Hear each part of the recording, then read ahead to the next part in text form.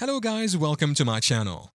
In this video, I'm going to show you how to crossplay ARK PC and Xbox. It is a fast and easy tutorial, so let's dive into it. Can you crossplay ARK PC and Xbox? The answer is yes. Let me show you how. First, open your Microsoft Store. Here you can log into your Microsoft account. ARK is a game available on Xbox and also on PC. Most mistakes people make is use distribution services like Steam to install the ARK game then try to crossplay with Xbox players. That won't work. If you open Steam and search for ARK, you will find it. You can install it from here, but you won't crossplay with Xbox users. On the Microsoft Store, search for the ARK game. As you can see, it is available here. Just install it from here. You can also go to Xbox.com.